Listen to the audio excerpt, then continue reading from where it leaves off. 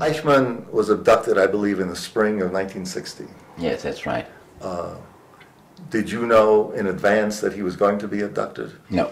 No. I, had no, I had no idea when, and then when, when Prime Minister Ben Gurion made that famous announcement in the Knesset, and uh, that Eich, Adolf Eichmann has been caught, he is in our hands, will be will be brought to Israel and will be will stand trial. That had an electrifying effect all over the country, and and also was had, had really as came as a very uh, sort of like, like a shock to me, uh, as I knew about Eichmann, of course, but I had no idea that he that there was any attempt to abduct him. How familiar were you with what had happened in Nuremberg 15 years earlier? Is that something you had knew a lot about, or just you were aware of it to some some detail? Or? Well, I, actually, the Nuremberg trials we followed uh, quite uh, quite intensively, and uh, and as far as Eichmann was concerned, I, there was the famous Kastner case. Uh, Kastner was one of the leaders of the uh, Zionist uh, movement, perhaps the leader in, in Hungary during the war, and. Eichmann, uh, Eichmann usually sat in Berlin, but when, when Hungary was occupied by the German forces and the Jews from Hungary were sent to the, to the gas chambers in, in Auschwitz, Eichmann was given the instruction to be personally uh, present. So he was there and he uh, uh, was in charge of all the, the uh, terrible proceedings there. And he had some conversations with this man, Kastner.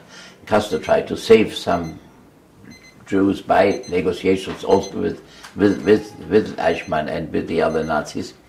And uh, there were some people here who charged Kastner that because of these negotiations, because of his attempt to, to save his family and his friends and, and some of the leaders maybe of the Jewish community, that he did not do enough to warn the rest of the Jews from Hungary to try to escape or and, and, to tell them that death was awaiting them, something that was known to him. And uh, he was really uh, charged with, with, with treason and, and uh, with trying to cooperate with the Nazis and so on. So, excuse me, was the precise issue in the trial whether he knew about what would happen to the Jews who were deported and his failure to warn? Is that was that? That was the main thing, his failure to warn it, and and he was really charged with cooperating and by by by by not by not disclosing all this to the to the Jewish uh, uh, community in Hungary, and that's why people were sent uh, uh, sort of helplessly away. Uh, that because of, of that he, he, should be regarded as a traitor and so on. So the, the, the this man Kastner was at the time a rather high government official. So the the attorney general uh, charged uh, the people who made these this this, this statement with libel, and actually the, the, the case was a libel case because Kastner could not be charged with these offenses here in Israel. So we. Uh, uh, we, we charged this man who was the, who made these statements for libel, and the uh, uh, this this the in this in this libel case in the first instance the state about ninety nine percent of that lost, and the, the, the judge more or less justified these libelous remarks. And uh, then the state attorneys, we appealed to the Supreme Court. The Supreme Court upheld our appeal and said that under the circumstances there was no justification to uh, blame Kastner. Now I, I uh, prepared that appeal for the then Attorney General, and uh, so I knew most many of the details, not all the details, but many of the of the facts uh, concerning Eichmann uh, before. But uh, then, of course, later I, I, understood, understood and, and, and, learned much more. You was it soon after he was brought to Israel that you were assigned to work on the case? Immediately, actually, when he came a day after that, the Minister of Justice at the time, Mr. Pinchas Rosen, appointed me as legal advisor uh, of the police bureau, the police bureau 06 it was called, that was entrusted with the uh, conduct of the investigation against uh, Eichmann. And uh, actually, a whole prison was vacated at the time for this purpose. Eichmann was kept there, so it's also easier to, to uh, guard him because of that. And then the, all the police officers, there were a few dozen, who worked on this on this on this investigation. They also were in this prison, and I spent about nine months there as well. I mean, not I mean only during daytime. I was at the time in a, in a hotel in Haifa, but I went every morning, and for nine months I was there next to the police officers and uh, uh, practically in charge of the uh, investigation. Uh, I imagine if you were to be the trial attorney, you could not be the one who actually interviewed him. Quite. That's why I made it clear immediately. Actually, uh, before his lawyers came, and as I knew also German, I was actually the only contact Eichmann had with the outside world. So when he wanted to discuss some formal problems he had, uh, then uh, he was brought before me. But I immediately asked everyone to explain to him that I would not discuss at that stage not talk to him about the uh, offenses uh, that he was suspected of having committed in connection with the Holocaust, as in that case I would have to be a witness, and I knew I would be one of the prosecutors in the case, so I did not go into these facts with him. What were your initial impressions of the man when you spoke to him about these non case related matters, when you, the mechanics of getting him a lawyer and the other things that you spoke to him about? Uh, well, we, I, I, I, try to keep these conversations on a sort of uh, more matter-of-fact manner, but I, I never forget my first meeting with him. Uh, that was, uh, I just read the autobiography of a man called Rudolf Höss, not Hess, but Höss. He was one of the commanders of Auschwitz uh, death camp. And he was hanged by, in Poland in 1948 12 years before Eichmann was caught. Uh, and uh, before he was executed, he wrote his biographical notes. And I just read those, and there I read, uh, amongst other things, that there were days when the Nazis had in, in Auschwitz had to kill about a thousand Jewish children a day. And he described how the children sometimes used to beg and to, for, for, for, for to, to, kneel down and ask not to be asked to be spared. And he wrote that when he had to push the children into the gas chambers, his knees were getting a bit shaky, a bit wobbly at times. But then he added, "But I always felt ashamed of this weakness of mine afterwards." When I talked to Obersturmbannführer, that was Eichmann's uh, rank, Obersturmbannführer Adolf Eichmann, because Eichmann explained to me that it's especially the children who have to be killed first, because he says, where is the logic that you kill a generation of older people and you leave alive a generation of possible avengers who also can later recreate that race again? Now, uh, maybe that's not devoid of some macabre kind of logic, but Ten minutes after I read that, they told me that Eichmann wants to see me and to talk to me, and they brought him in, and he was sitting more or less like you are sitting opposite me now, and I must admit it was a bit difficult to keep a poker face after uh, after I just uh, finished reading that. When we discussed question of his uh, legal representation and possibility to, to, to meet with his family or to talk to his family and all these things, there we we uh, we tried to to uh, finish this conversation in a more or less ordinary way, but certainly it was not not not easy easy always to keep one's self control. Did you get a sense as to whether he was an intelligent man? Yes, I would say uh, intelligent I, and, and I would say uh, clever. I would not say wise, but I would say that he, he was he was clever. He had intelligence. He has knowledge, and uh, he was certainly uh, not a mediocre man. He was certainly uh, above that intellectually. You mentioned the incident with Höss and Eichmann reinforcing him. Uh, I, I gather those facts became somewhat important in the trial later on, but it was a little bit difficult to prove because Hess, of course, was dead, and all you the evidence you have now is simply what he said in a book in a footnote, so to speak. You tried to, did you not try to improve on the evidence uh, during this interrogation process? Uh, in many ways, we uh, I try to uh, to do that. I mean, first of all, uh, when I uh, came to know the character of the man, I want to say there was, as I didn't interrogate him personally, there was a police officer called Less. He did the interrogation. He spent months interrogating him, country after country, issue after issue, etc. And the procedure was that, that all that was on tape recording. I heard that in the evening. And uh, then I uh, discussed with this police officer the way in which he should conduct the, the, the investigation on the next day. So, so sort of by remote control, I, I, I could uh, uh influence that. And uh, then I realized that any time uh, that uh, he was he did something. He said, well, he had given he was given instructions by his superiors.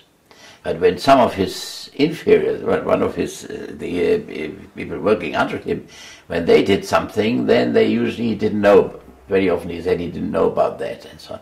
So he tried to. He didn't really deny the main facts. He could not possibly. There were hundreds of documents signed by him, and everyone knew that he was in charge of, of, of, of all Jewish affairs in the Gestapo, in the uh, German security.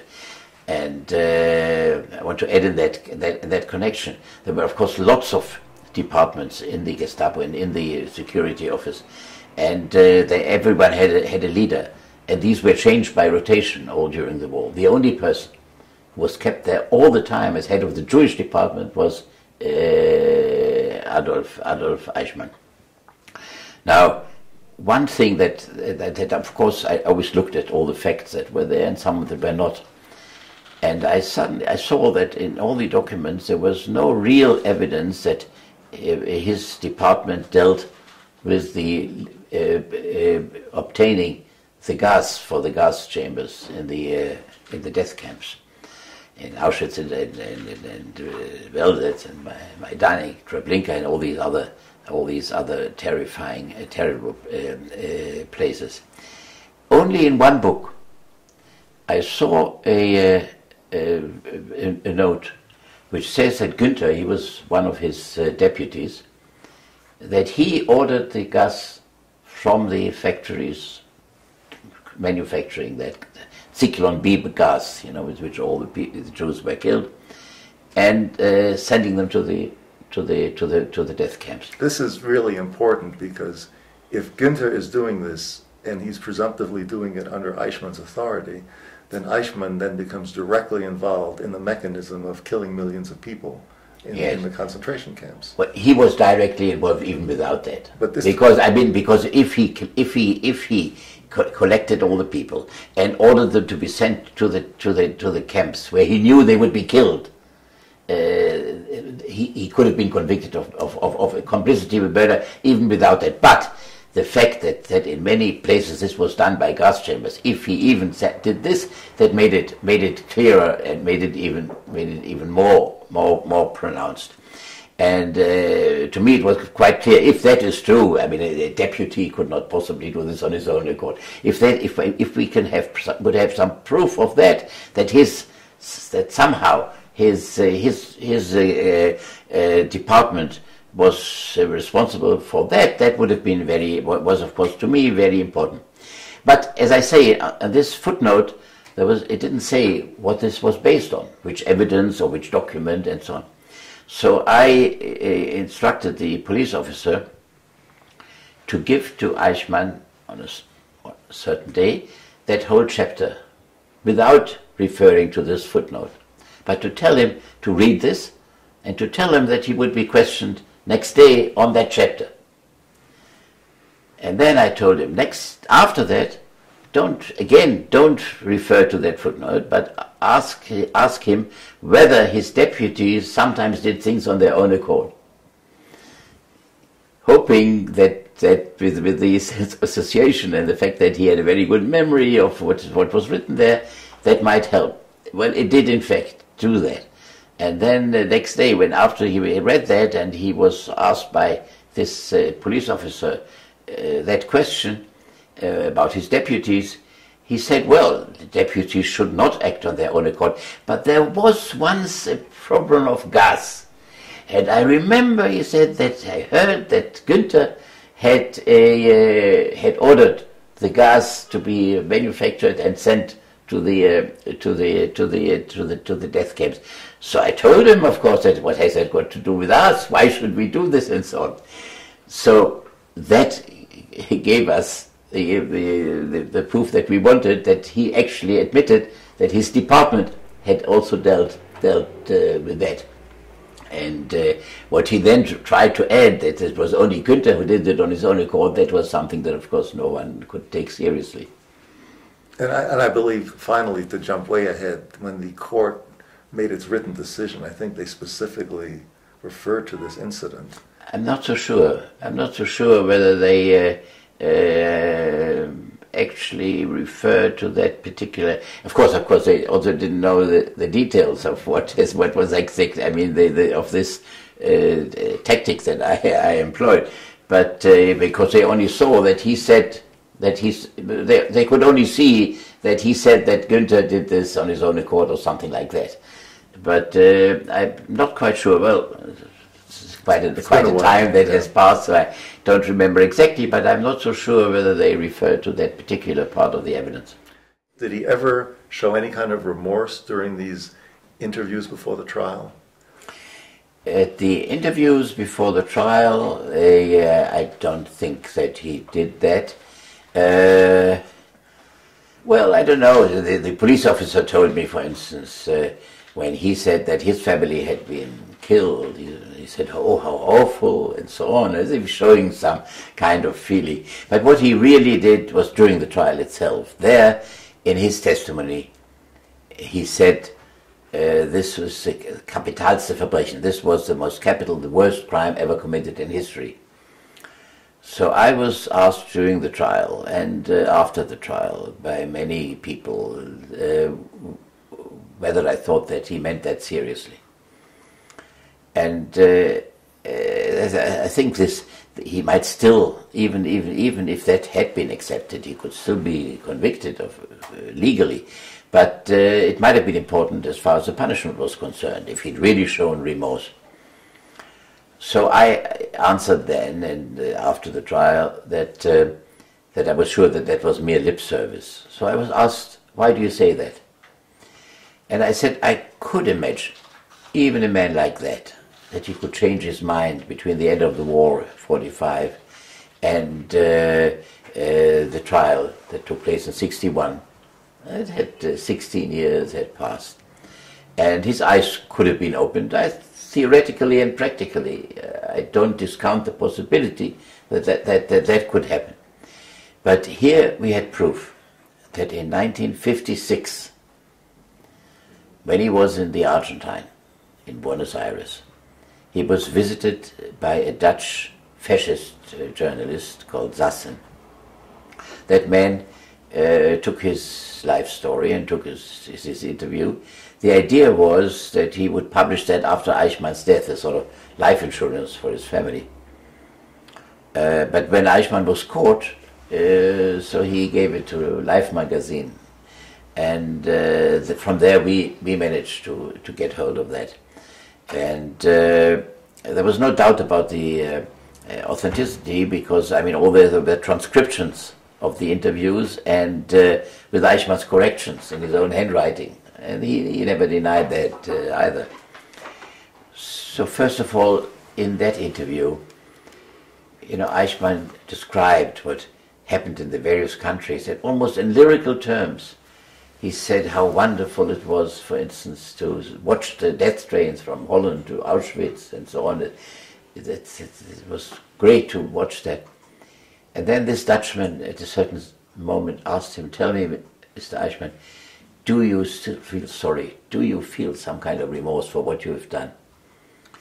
And he said, Yes, I feel sorry for one thing that I wasn't hard enough, that I wasn't tough enough, that I didn't fight these damn interventionists enough. And now you see the result the creation of the State of Israel and the re-emergence of that race, of that people there. So I said, if he said that in 1956, 11 years after the war, and now in 61, five years later, when he's fighting for his life, he suddenly speaks of the gravest crime committed in history, I think I'm justified to be a bit skeptical about the veracity of that. And therefore that was not uh, was, was that was also held by the court that they did not accept uh, as true that, that that sense of that uh, this feeling so-called feeling of, of remorse. The uh, the assassin interviews as i recall eichmann his sole defense was that he was drinking a lot of brandy and beer while he was giving the interviews. Do you remember that that he said that while being interviewed he was doing a lot of drinking so therefore he may not have been accountable for what he was saying. I mean, it's such. It's, it's possible I don't remember all the details. I mean, he, he made some excuses. Some, first of all, he said he didn't quite remember what he said, and so on. But uh, when you look at it, it's clear that it's uh, almost uh, uh, possible to, to, see otherwise.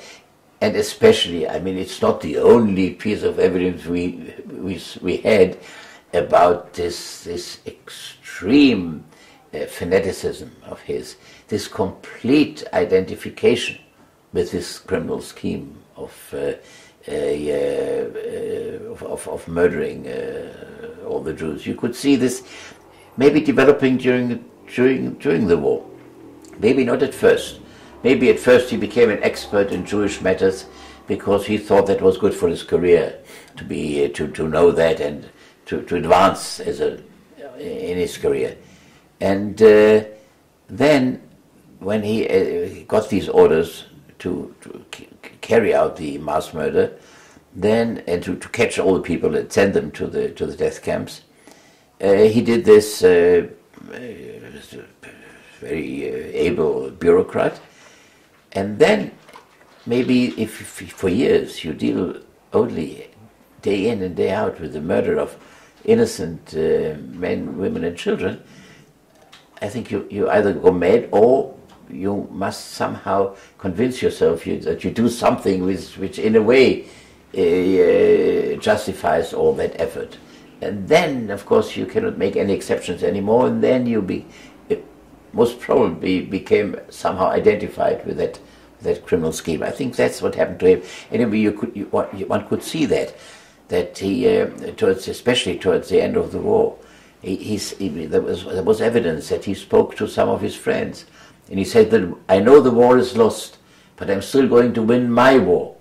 And then he went to Auschwitz in order to get the uh, death rate increased from 10,000 a day to 12,000 a day, and made all, all kinds of other suggestions which were sort of uh, uh, incredible to the ordinary person. I, I, think we'll get to some of those later when we yes. talk about the trial. Uh, and let's, let's, turn at least now to the organization of the trial. It, it, was understood from the beginning that you would be on the prosecution team. Is that that's correct? Yes, I understood from the, the minister that he thought that I would be one of the one of the prosecutors, together with the uh, who would then be the uh, the attorney general. Yes, and then there were several other prosecutors as well. Well, there were three of us yes. who actually carried out the, I mean, really the prosecution of the case. I mean, hearing witnesses, arguing, bringing all the all the evidence, and so on. There were three uh, of us. It was the Attorney General, Mr. Gideon Hausner. He was the, uh, leader of the uh, prosecution. He, he he was not yet the Attorney General when Eichmann was caught. He he was appointed later. But uh, we, of course, during the uh, preparation, we, uh, we, were in constant contact. So it was Mr. Hausner, I was the uh, number two, and then there was another attorney, the then district attorney of Tel Aviv, Mr. Yaakov Bar-Or. And the three of us did that. Then there were people who helped sometimes with the legal, uh, legal arguments. There was a, a professor, a historian, who also was a member of the prosecution team but did not take an active part in the proceedings. Uh, how did you, the three of you, divide up the prosecution case? Uh, well, uh, we try to sort of, from a quantitative point of view, do it more or less equally. But we, uh, uh, I mean, naturally, as uh, as I have been there during all the investigation and all the documents and so on, so actually the the uh, the uh, the when we describe what happened in the countries where Eichmann was active personally, I mean, where you could see his direct control over what was happening, uh, there all those the prosecution concerning those countries were dealt by me. Uh, like uh, Hungary, where he was present personally, and West, all Western Europe, and Italy, and uh, Czechoslovakia, and so on. Uh, then uh, Mr. Bar-Or, he was in charge of all the witnesses dealing with Germany and uh, Austria, and uh, and uh, uh, all the, all the, the documents and the and the and the living witnesses. Uh, and uh, Mr. Hausner, he took himself upon himself the uh, some of the witnesses with the greatest sort of emotional appeal, like emotional importance, like uh, uh, what happened in the death camps, uh, to describe the people of the the survivors, what they felt. And I mean, even if they didn't uh, testify to Eichmann personally, but the factories of what happened to them. Uh, of course, legally, we, we had to show that these people were killed, and these witnesses were certainly relevant legal witnesses. But uh, Hausner did that. As, uh, he, he dealt with the evidence about the Warsaw uprising and uh, all the everything con- connected with that. And uh, so that was more or less. And of course, he uh, he cross-examined Eichmann during the during the during the trial itself, and uh, he also made the opening speech and the uh, the final summary. I mean, as leader of the prosecution, that of course was part of his uh, job. So that was it was more or less the uh, division of labor before us. Uh, I also want to add the the opening speech also was was prepared by the three of us together. But then this uh, very well-known beginning that was uh, he, Hausner added at really at the last minute where he spoke about the that there are six million accusers and so on, something which was really went into history as a very important addition, and that was that was also th- something that that that, that he added uh, shortly before the before he made that speech. Yeah, maybe we can get to that in a few minutes. Um, uh, it's still pre-trial. I'm just curious. Did all three of you, the prosecutors, were you all three fluent in German?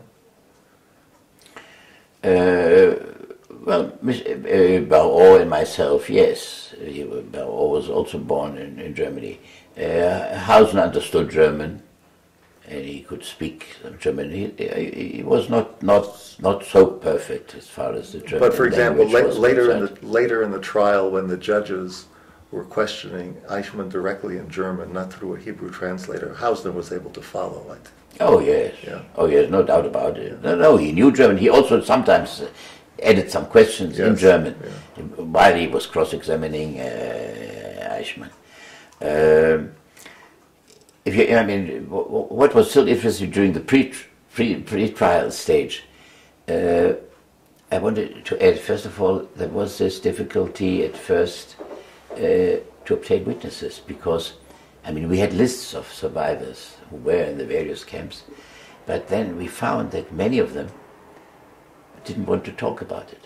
They had somehow for years not talked to this, not to their families, not to friends. They had pushed it aside. somewhere, did not want to be re, didn't want to be reminded of that, and so sometimes they they they had uh, they objected.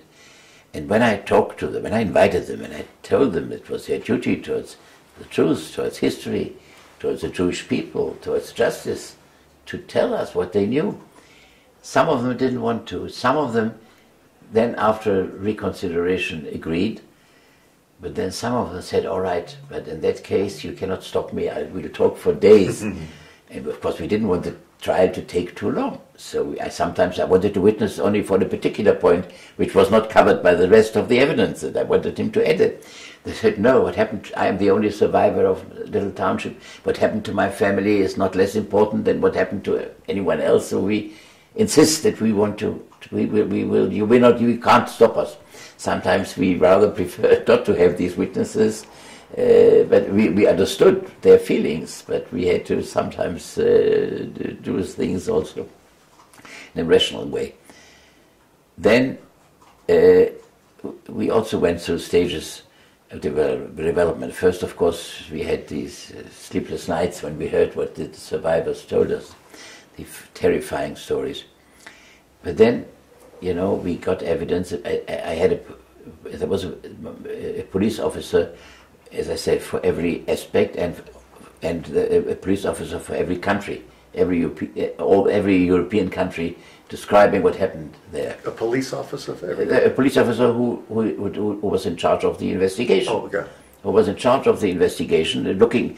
We had millions of documents, you know, lots of lots of uh, files and and uh, discs and uh, yeah, uh, uh, other sources of information and uh, and and, and there was a police officer for every topic, like every country and so on. And my instructions were that whenever they came across a document that they thought it might be relevant, they should take it out. And in the evening, I would receive these documents from all the uh, police officers, and then I would decide what goes into the trial and what does what does not. So. Uh, the, I said, then realized that in practically every country there were cases where someone asked Eichmann not to send a certain Jew uh, or a Jewish, certain Jewish family to, to the death camps or to the, to the east. Uh, sometimes from Jewish sources, sometimes from uh, uh, non-Jewish sources, sometimes from German officials, and so on. But all this, all these files were under chronological order. So when there was such a request and I got that, I didn't know what the reply was. And, and then that took sometimes days. This was still during the investigation. It was all this during the investigation. Then all during this uh, the, the, the investigation, it took sometimes days, sometimes weeks, until the reply was handed to me. And I had sometimes I dreamt about this that some some family, some of those families uh, were perhaps saved. And this was, of course, chronologic, it was uh, simultaneous. Uh, we had uh, someone from Holland and from France and in, in, Greece and in Slovakia and Germany. I mean, that was that happened. That was that came to me, and I lived through all this again. You know, trying to hope that somehow some family might be saved. And then I saw that whenever it came to Eichmann, the outcome was almost always fatal uh, I, I, don't want to be only theoretical. I want to tell you and give you an example of what, what, what sort of what, what I mean. Uh, one day, a, uh, a, letter was received from a German general, the commander of Paris. He uh, wrote to Eichmann that there was a Jewish professor called Professor Weiss, who was an expert on radar, and uh, he had made some inventions in the radar field. And uh, that was important for the German army. They wanted to use that and to learn from that. So the office, the, the general, commander of Paris, uh, asked Eichmann to give instructions that this man should not be sent to the east, to the death camps.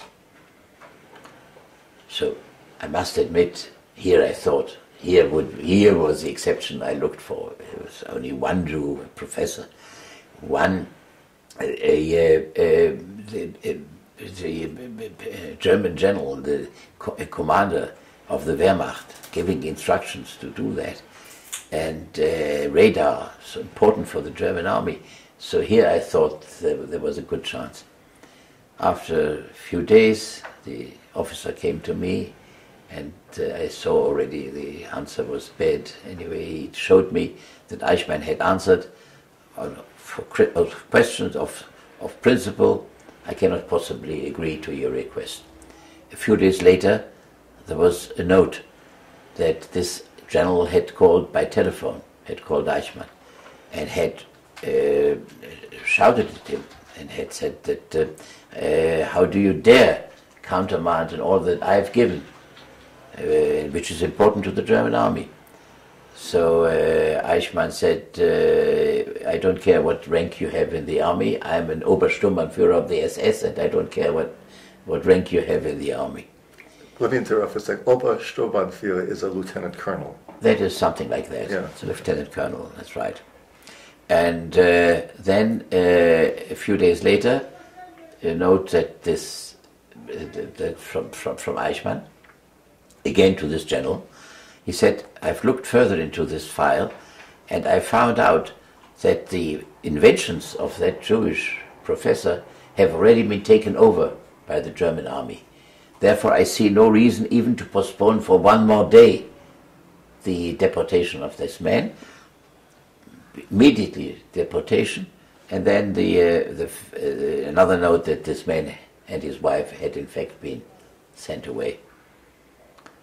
I must say that when during the trial I handed in these documents into court, a few days later, uh, this was very widely reported in Israel and other countries. And a few days later, my secretary came to me and said, uh, "The young lady wants to see you." I said, "Who's she?" Her name is Alisa Weiss. I said, Who? "I don't know her." Anyway, sent her in, and there came in a young lady, and she said, "Look, I, I am the daughter of this Professor Weiss. I was uh, born a very short time before they were deported. I was a baby, and of course, I didn't know uh, my parents. And they uh, sent when they saw that the SS had come to, to fetch them, they sent me to neighbors. And the neighbors kept me and uh, for, for, for a while, and then I was sent to America. So now I live in America, and I, I saw what these doc that, you said you put in these documents. Now, not only don't I know my parents, but I even got a, even haven't, haven't got a picture of what they looked like. Could you give me some advice what I can do to find out what they looked like when you see a picture of them? That's one case. Another one uh, that I remember very well. There in in Holland, there were there was sort of you have cranks like that. There were twelve Jews who were members of the fascist party in Holland, and uh, so the leader of the fascist movement in Holland wrote to Eichmann, and he asked that these twelve Jews should not be sent away, and he he, the reason given was that these are good, loyal party members, and it would be demoralizing for the members, other members of the fascist party in, in Holland if these comrades were sent away. Also, in order to, to make it more uh, attractive to Eichmann, he said these people could maybe could do uh, espionage work inside the Jewish community, and that would help you and us to find out what the Jews were were planning. Again, I thought here was a chance. And after a few days, Eichmann replied, uh, on a question of principle, I cannot possibly agree to your request. If you think that might be demoralizing, if they are sent away immediately, maybe we wait, you can wait a few weeks. By then, people will have got used to the deportation of Jews to such an extent that no one will pay particular attention to that. So. So uh, just multiply that a number of times, and you see uh, some of the things that uh, really were uh, sort of uh, rather shocking and traumatic for, for us when, when, we were preparing the trial. Another thing which might be of interest, we of course we got information from all over the world but we were very much interested in by, microfile films and and and uh, other documents, and uh, but we wanted very much to have information from Poland, because in Poland were the main death camps. And uh, but the Polish government was very against, very anti-Israeli at the time, and they'd given instruction that no one should in Poland uh, should cooperate with the prosecution in the Eichmann trial. But there were lots of, uh, of, of, people there in Poland who wanted to help us. So what we received was information, anonymous information from many people who wrote to us, giving us information and sometimes documents, but without disclosing their identity. One of one of these days, I received a, a letter from Poland uh, with typewritten pages containing details of the number of Jews who arrived in Auschwitz during 42 43 every day and what numbers were given to them. Now, of course, that was of great importance to see the numbers that arrived, the numbers that were given to these people, and so on every day in 42 43. But there was no signature because you know they handed in these these these uh, these documents without a, a stamp, without a signature, without knowing the sources from which it came. I mean, this is the criminal case, and of course, without showing that where this how, this how they arrived at that, of course, it was not legal evidence. But I saw the importance of the facts, so I asked for an immediate meeting of all the police officers. And uh, I told them the problem. I said, "Have you got any idea how we can change that these documents into uh, into legal uh, uh, authorities, uh, legal proof?" Well, there was a silence. Then I had an idea. I said, "Look, usually we, we, we put in a document by someone who signed it, who prepared it with a stamp or official document, so but maybe we do the, op- the opposite here, and we show that this document is in fact true. I mean, here it says in July, this day of July, and in July 42, uh, the Jews uh, got, got there and got this, these, uh, the number of Jews and the, the numbers they got. Now we have hundreds of people in Israel who were in Auschwitz and who live and who have their number. And they know when they arrived there. And they have the number still tattooed on their arm. So maybe if the police ask that all the people who in July arrived in Auschwitz should come to the, to the uh, police and we examine that, their numbers, and then we can see whether this document is in fact uh, true or not. I had not yet finished saying that, the police officer responsible for Poland, uh, Mickey Goldman, now Mickey Gilad, was in charge of the Polish uh, uh, deportation of Polish Jews. Uh, he rolled up his sleeve of his shirt, and there was a number, and he said, I was in Auschwitz, and I arrived at the end of 42, or in July 42, anyway, this is the number. He showed the number, and that coincided exactly with what was in this document. Now, until that moment, I had no idea that he had been in Auschwitz. I had no idea that he was from Poland. I only knew that he was asked to, to deal with the investigation of that part. And not only I didn't know, but the, apparently the other police officers didn't know. Now, there, I mean, there's some of these police officers, as, police officers are, some quite hardened people, but for about three or four minutes, we all of us sat there and uh, uh, really no, no one was able to say a word. And uh, until we sort of went over to sort of ordinary routine. And anyway, that settled that, that particular problem. We found that out, also out from other people that that was that document was precise, and we we could uh, we could uh, put it in. But uh, this was also one of these moments of the trial of, of the pre of the period before the trial, which are very difficult to uh, to forget. Uh, did you uh, do any kind of psychological profiling of Eichmann in the event to just to test his sanity or anything of that Yes. sort? Uh, This was one of the first things I thought about. That maybe he would, if he would plead insanity, what would what would be our reaction be? So I wanted to have some proof about his legal, about his state of mind uh, from a legal point of view. So I asked, I had him examined by uh, by uh, Israeli uh, psychologists and psychiatrists, and uh, but in addition, I also wanted some people from the outside to to to, to look at that. So we heard that there was a very uh, very important uh, expert in Switzerland, a non-Jewish person, and uh, called Professor Szondi. And he lived in Switzerland and he uh, had invented a special kind of system of examining people's characters and state of mind. I mean, it, some of the usual procedures, but also in addition, he uh, had prepared uh, certain pages of uh, living people, pictures of living people, some of them uh, murderers, sadists, rapists, etc., and uh, some of them uh, Nobel Prize winners, sociologists, people of a great, of, of human, humane stature and so on. And uh, so the examined person is shown such a page, and he has to point at five of the people that he likes best, that appeals to him most of these people.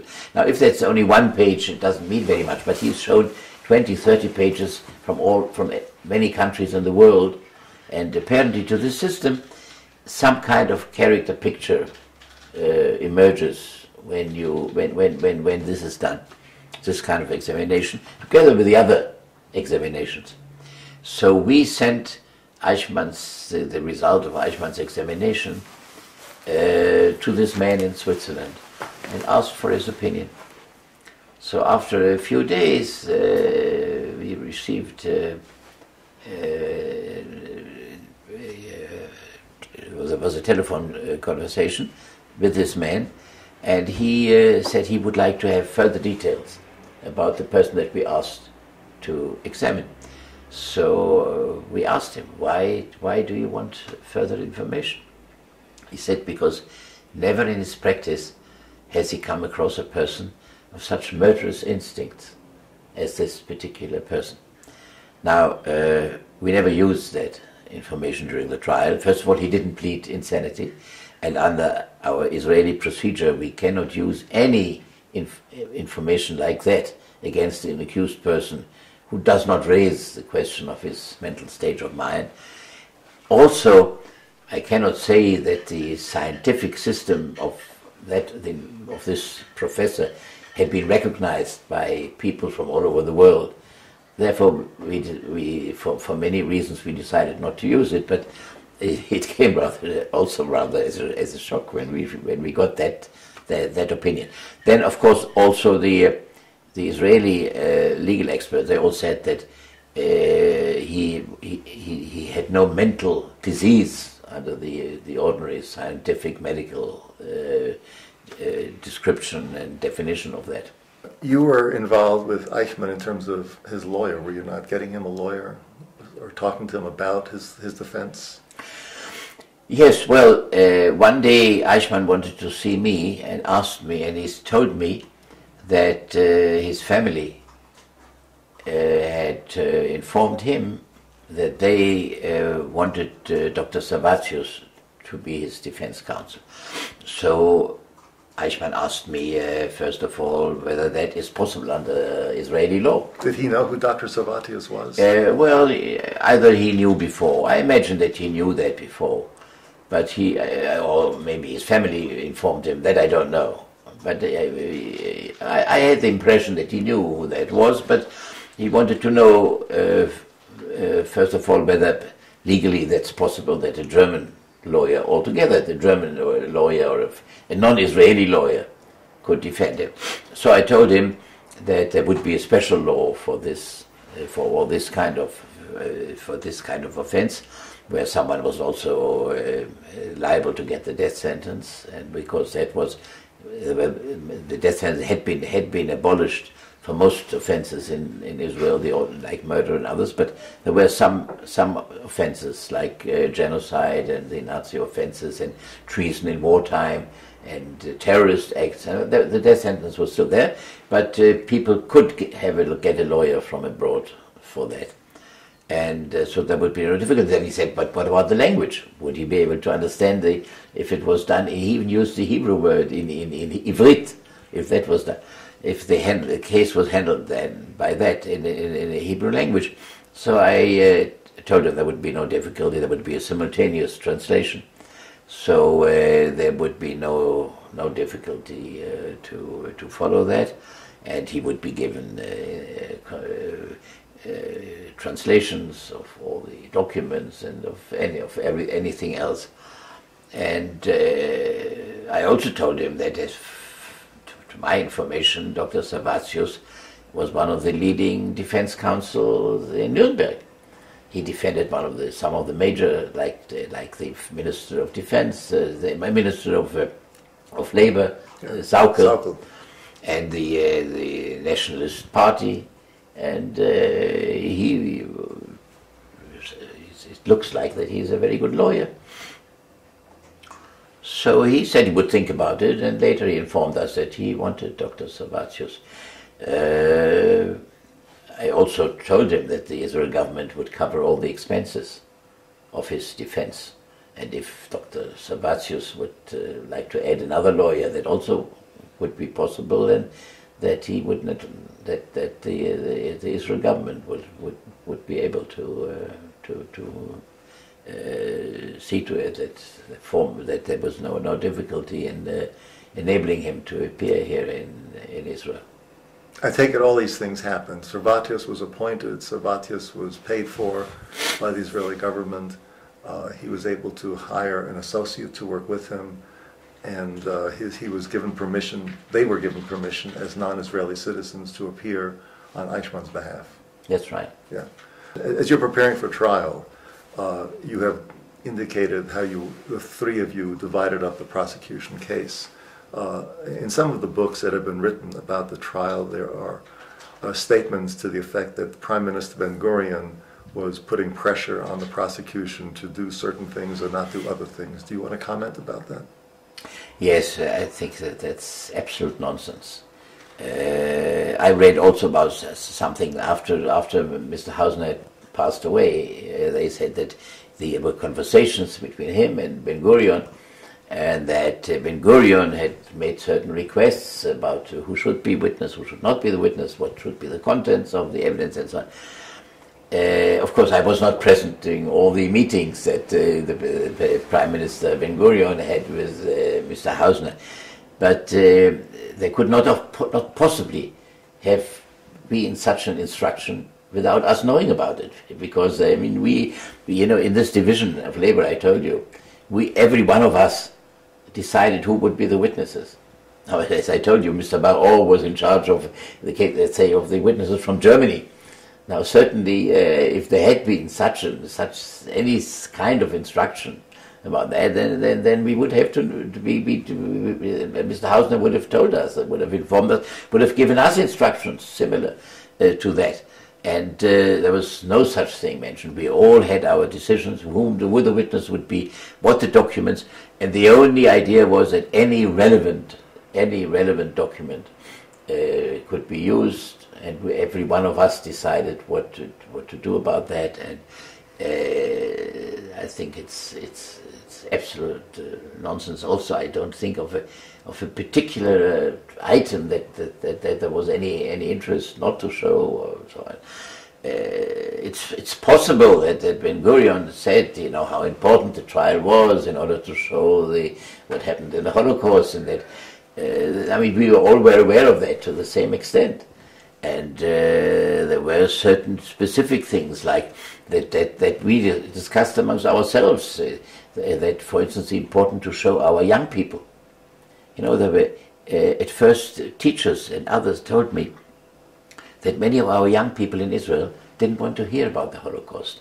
Not, not because they didn't think that it was important to show or to hear about the murder, but they were somehow ashamed of what had happened. You see, a young Israeli can understand that you can be killed fighting, that you can lose a battle, that you can be hurt, that you can be harmed. All that they can understand.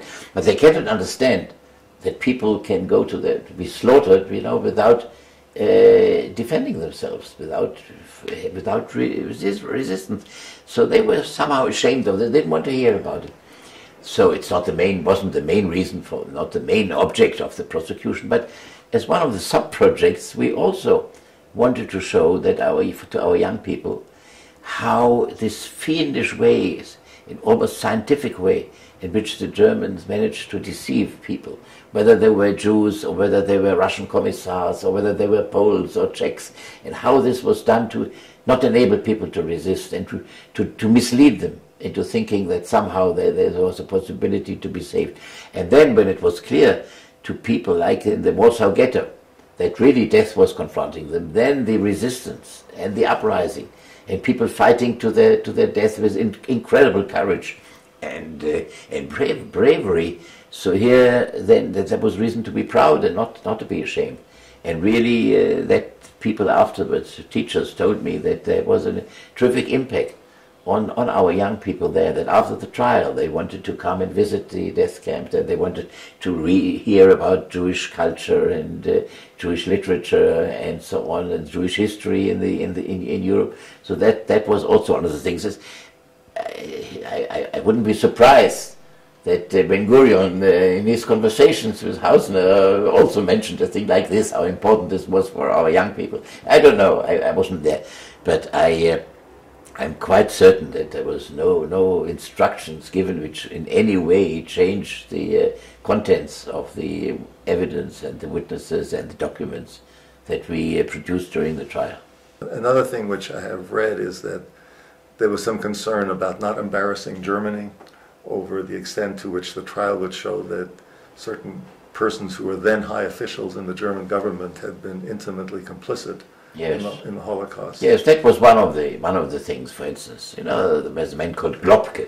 Globke was was a, was a person who was a, a, a, an official, and uh, in the uh, in the, in the new German new German government, and he was also active during the time of of the Nazi regime, and. Uh, in fact, there were some people who also from other countries.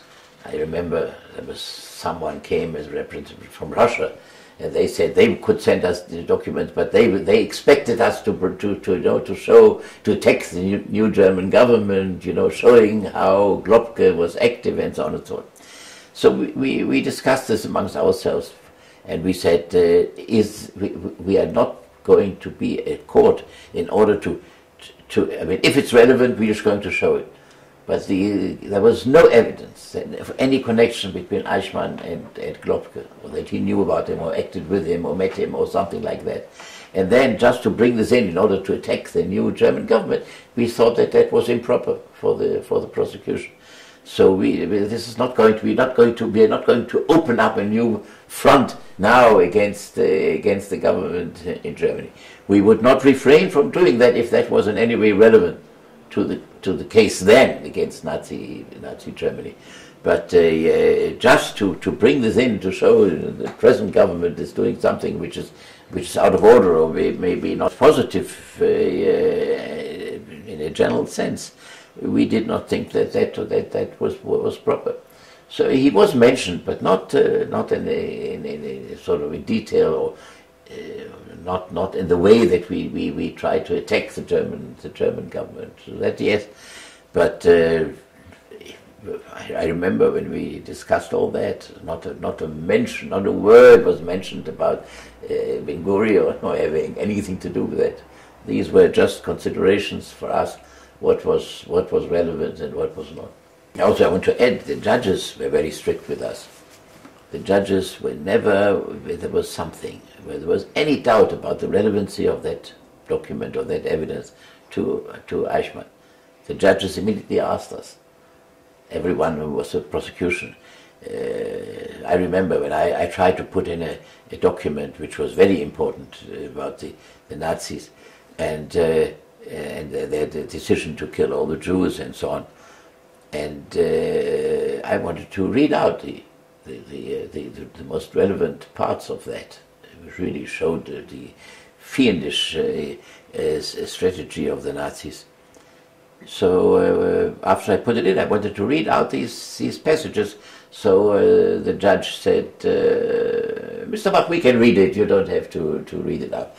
I, I, I mean, we wanted to bring to the attention of everyone in Israel and, and also the world some of the main items. So I and uh, yeah, so I said uh, I said to the court uh, that I'm sure that the judges are going to read uh, all these uh, all these documents, but I insist on telling them what parts are important to the prosecution and why we attach importance to that. And I think that is important. This is a long document, and we want to stress a few definite items of that, and uh, then the, the, judges agreed uh, to that. Uh, uh, also, I'll never forget, you know, or maybe when we come to the trial, you'll, I'll refer to the, the you know, the uh, Jacques Stern, you remember that, that can, is, is perhaps, I'll tell you now, that um, uh, Uh, I insisted that there should be a living witness from every country. Right. Because documents alone, they come af after a while. These are things that people cannot identify with that or really understand what's happening. So I said at least one live witness, maybe more sometimes, but at least one live witness, in spite of our attempt to, to limit the, the length of the trial, but still I think I thought that was essential. Of course, we wanted to bring as complete a picture of the Holocaust as possible.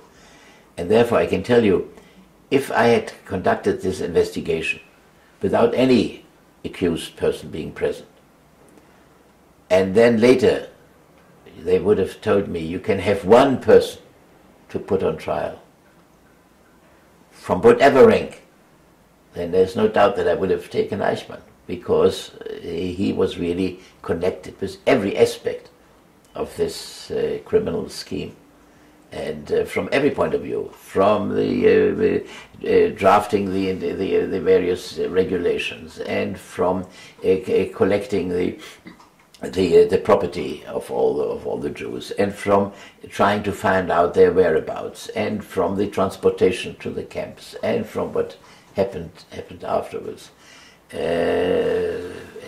as, as head of the Jewish, Jewish uh, department, and as I told you before, also the possible exemption for this or that the Jew. I mean, he was really in charge of all that during all the time, and therefore, and also you could see that his commanders, like the commander of the Gestapo, Müller, yes, all the all the, all the others, they relied on him completely as far as the, all the decisions were concerned. I think if you if you go through the trouble of setting up an organizational chart, starting with Hitler and Himmler.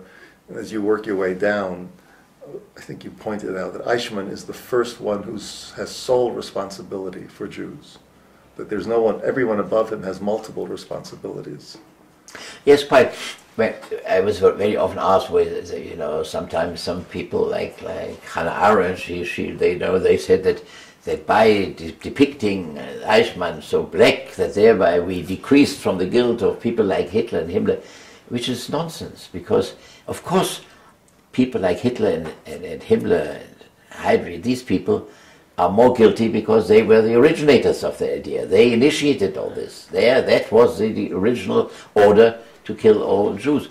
But for people like Hitler, there were other things which were not less important, like the political situation or the military situation. That was as important, perhaps more important, than killing every last Jew. But for Eichmann, it was only that. That was his job. And then, as I said, he completely identified. And I want, I want to tell you, we had proof that when the German generals on the Eastern Front were clamoring for reinforcement, for any, any for ammunition, for manpower, and so on, he managed to get priority for his death trains. He must have known that that was, in a way, uh, uh, uh, sabotaging Germany's war effort. But as he said to his friends, I know the war is lost, but I'm going, still going to win my war. And then he went to get to, went to Auschwitz to get the death rate increased from 10,000 a day to 12,000 a day. I mean, that, that was the, the man, and uh, and and his his special guilt as far as the performance was concerned. But that doesn't doesn't decrease, of course, the the guilt. On the contrary, I would say the fact that Hitler and Himmler kept in this position all the time, a person who was so fanatically uh, uh, involved in all the carrying out of that scheme, that is certainly not a mitigating circumstance for them, but it is the, the, the other way around. That they did this someone who was not just an official who carried out orders, but who was completely identified with this criminal purpose. One, one last question before we get to the trial relating to something you mentioned a few moments ago about ensuring that all your evidence related to Eichmann, you put on significant evidence of the Warsaw Uprising and other rebellious acts uh, on the part of the victims before they were murdered. How specifically did that enhance the case against Eichmann to show that there were rebellions? Not to show that there was a rebellion, but we had to show that, I mean, we charged Eichmann with being a, a, a, a conspirator uh, with others for the killing of so and so many Jews, of all the Jews from Europe, and, and Jews were killed in many ways. People were killed at first in, with the, in the Einsatzgruppen, you know, by, by, by being shot. People were killed by gas vans, where, you know, where the, where the exhaust went inside. People were killed uh, by, uh, in the ghettos by, in various ways. Now, he, as, as, as the referent for the Jewish affairs, was guilty, uh, together with others, for the instructions to all the German authorities. And they, uh, we can see in the Wannsee conference and everyone else, orders were given for everyone in every position to see to it that, that, that, that people were killed. So, and we, and we, we, in our indictment, we had said that the number of the total number killed of all the, of all the Jews as a result of all these these uh, regulations which were sent to all German authorities. So when here in, in, in, in the, the, people who were killed in Warsaw, that's part of the people who were that Eichmann was charged with causing their death. So eh, whether he caused, there was no difference here. Whether people were, were, were shot here or people were killed in the gas chambers there, I mean, as far as he and his department sending all these instructions to all the people concerned, therefore, of course, he was he was a, a, a, responsible f- uh, for killing. The relevant part was the, the, people, the fact that people were killed, the fact that they were killed after a rebellion, as part of rebellion. That, that was part of the story that, that that had to be had to be told in order to see how the people were killed and under what circumstances, and that that was something we can be proud of, all right. But that, is, that, that, that doesn't detract from the fact that that, that was relevant evidence uh, as far as Eichmann was concerned. Because there were homicides and they were part of the larger plan. That was part of this, just like like some people said, uh, how why did we bring evidence about the death camps? Where Eichmann was not always present. On the contrary, most of the, the, the, the, all the witnesses who were there, they didn't testify that they saw Eichmann there not in not in Auschwitz and not in he, he did visit it. He said that. He told us. But the witnesses said that how were people killed in the gas chambers, and we should, brought evidence to see to show how many people were killed and, and, and, and how they were killed. And now, now, if we want to, if we charge him with murder, uh, it's clear under all, all uh, every understanding of criminal law, we have to show the fact that people were killed, and then to show what his activity was, which made him an accomplice to that. But therefore, we had to show how people were killed in, in, in, in, in the gas chambers, how people, people were killed by the, uh, by the militia, by the German militia, how people were killed when they tried to rebel in, in, in Warsaw. That's, that, there's no difference between that. We had to show the total number of people, where, how they were killed, when they were killed, and then to show Eichmann as being responsible as part of that whole picture. To, to turn it into something much more common, I'm sure right now as we speak there are trials going on where persons are charged with conspiracy to do things. And invariably the prosecution will show that what they conspired to do in fact was done. Exactly. And that's what we're talking exactly. about. Exactly. Exactly. Therefore all this was was relevant evidence.